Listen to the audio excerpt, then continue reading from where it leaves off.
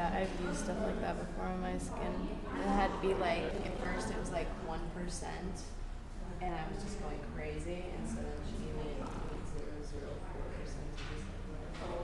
I thought I got sprayed with metastatic.